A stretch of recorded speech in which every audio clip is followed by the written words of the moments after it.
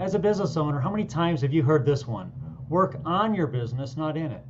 Well, if you're like many business owners, you've heard this so many times it doesn't even register anymore. So, what exactly does it mean to work on your business versus in it? My definitions are pretty simple.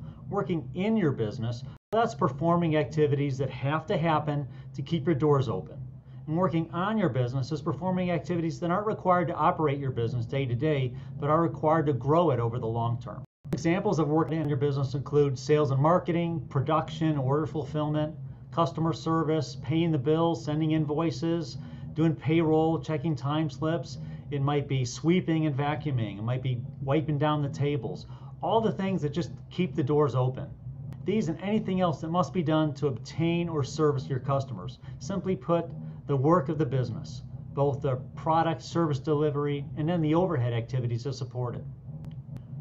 Now, some examples of working on your business include planning, whether it's this week, this month, 90 day, like we do, one year, three year, budgeting, working on your vision, your mission, developing your culture and your core values in your business, leading your team, managing your team, coaching your team, developing hiring and training systems, systemizing your business, so you can run a business successfully up to a point without allocating almost any time at all for these activities. But you will eventually hit a wall or ceiling that you just can't get past unless you start allocating time for these on your business activities. If you need any help coming up with how you can find the time to work on your business, give us a shout and one of our coaches will be happy to sit down with you and brainstorm in a strategy session how to work on your business more and work in it less. Make it a great day and see you soon. Thanks. Bye.